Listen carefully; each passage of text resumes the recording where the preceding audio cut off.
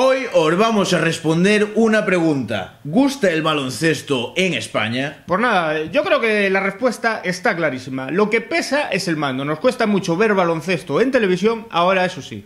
Cuando hay que ir al estadio a animar a los nuestros, oye, somos los primeros, ¿eh? Pues sí, nos gusta que nos salpique hasta el sudor. Hemos hecho aquí un estudio gracias a acb.com donde sacamos las asistencias a los pabellones y de Wikipedia para saber el número de gente que cabe en esos pabellones para responderos. ¿La gente va al baloncesto en España? ¿Sí o no? Sí, pero ese sí, pero no está clarísimo. Eh, ¿Quién va al estadio a defender sus colores realmente en esta CB? Los equipos más pequeños, los equipos más pequeños que, que, tienen ansias de deporte, tienen ansias de competir, que casualmente pues el resto de deportes pues no les quedan tan cerca. Oye, pero al estadio a ver el baloncesto, ahí sí que vamos. Pues sí, porque hay muchos datos que engañan. Normalmente cuando las páginas web hacen, yo que sé, eh, la asistencia en un año, claro, a los equipos que tienen menos asistencia, es decir, números brutos más pequeños, los ponen al final, los olvidados. Nosotros, en cambio, hay que tener en cuenta todo, cuánta gente va y cuánta gente cabe. Así tenemos, por ejemplo, al Tenerife, en el último partido, 5.161 personas de 5.100 de aforo. Imaginamos que como era el derby canario, pusieron gradas supletorias,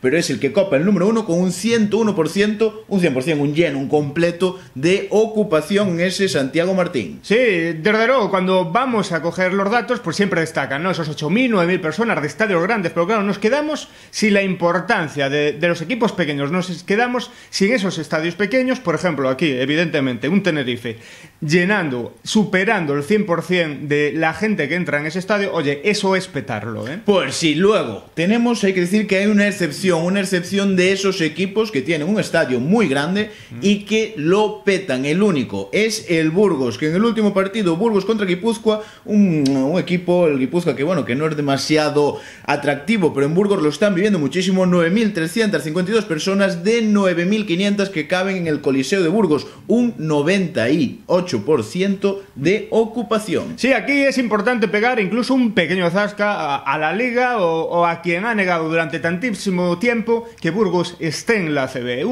Coliseo, un estadio de casi 10.000 personas, no puede estar fuera de una CB. Oye, si pillamos datos, pillamos los estadios, vemos que hay estadios que no llegan ni a 6.000 personas. Oye, Burgos con casi 10.000 estaba fuera. ¿eh? Y luego, antes de que nos salten encima los vascos, el Bilbao también es otro de esos que tiene muchísima afición, caben 10.014 personas en el Bilbao Arena y tiene un 93% de ocupación, pero en cambio, claro, nos vamos a macroestadios. El Wicenter Arena, esto, bueno, el Palacio de los Deportes de Madrid. Por ejemplo, el Estudiantes, un 48% de ocupación. El Real Madrid, el Real Madrid en Navidad, contra el Estudiantes, derby madrileño, un 59% solo de ocupación, que sí, que superan los 10.000 espectadores en un caso y casi llegan a los 9.500 en el otro. Pero claro, el estadio medio, medio vacío.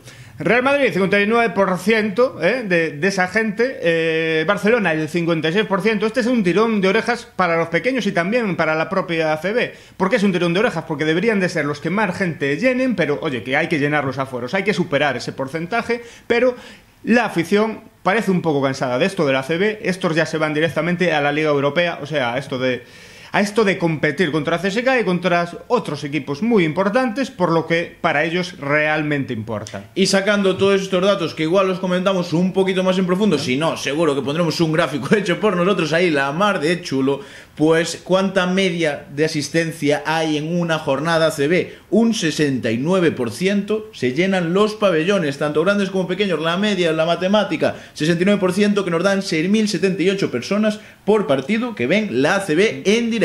Oye, cuidado, eh, más de 100.000 personas eh, llenando estadios de la CB o casi llenando estadios de la CB. Eso sí, nueve equipos por debajo de la media. Es algo preocupante para esos nueve equipos, pero también para la CB. Que tiene que ver como a esos equipos cómo se arregla la historia para esos equipos y también habrá que mirar a los de abajo, a los que tienen que entrar próximamente en esa eh, Leporo, por nada, van a ascender y hay que mirar, oye, qué equipo va bien, qué equipo va mal, oye, eh, nos va a repercutir positivamente a lo que realmente importa, que no es ni tan siquiera el baloncesto, sino que lo que realmente importa es que venga más afición a la ACB, a la Liga Andesa. Pues sí, porque esos equipos, ya decimos, son equipos grandes, que tienen estadios demasiado grandes, y esos nueve equipos que están por debajo de la media, así diciéndolo rápido, Guipúzcoa, Juventud, Estudiantes, Gran Canaria, Betis, Barcelona, Real Madrid, Unicaja, Zaragoza Y, ojo, cuidado, Basconia, que hay que decir que el Basconia, pues eso, están en 10.125 personas la última vez, pero claro, 15.000 y pico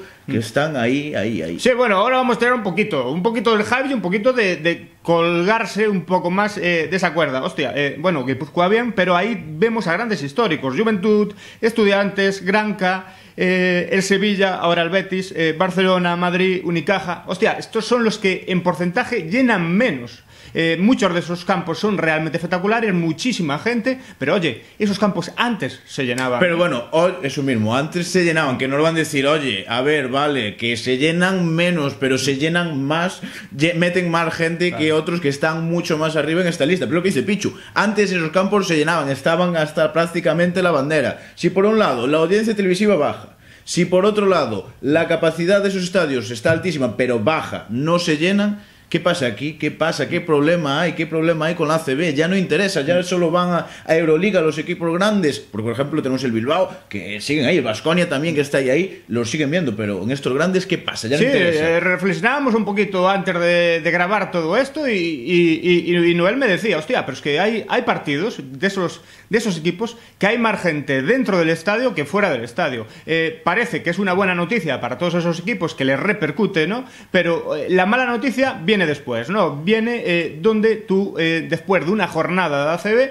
pues eh, como parece que no interesa a nivel televisivo, host- hostia, esto no llega ni tan siquiera, pues nada, un telediario, unos informativos, ¿no? Pues sí, porque es eso. Prácticamente, a ver, no justo lo mismo, pero prácticamente en muchos casos, salvo Real Madrid y Barcelona, pues es lo que ocurre, que ve- va casi más gente al propio estadio, en el cómputo global de toda la jornada y demás, que las propia gente que lo ve en la televisión, aquello que comentamos en el famoso vídeo prohibido de Co Brothers. Así que nos toca reflexionar y os toca a vosotros comentar si sois más de ver el baloncesto en televisión o de asistir a vuestra ciudad, apoyar al equipo de vuestra ciudad y vivir el básquet pues como gusta, ahí a pie de cancha. Mm, Y ahora me gustaría, para cerrar, pues un pequeño tirón eh, de orejas prácticamente a todos eh, los medios, sobre todo a las televisiones. Y claro, las televisiones cogen sus audiencias y dicen, coño, esto parece que no interesa, porque eh, realmente, pues esto lo ve muy poco. Pero también es importante decir, para que te vean hace falta fomentar, ¿no? Nos vamos, eh, repito, a unos informativos, a unos telediarios y vemos eh, en los últimos informativos donde Luka Doncic se salió en una liga endesa,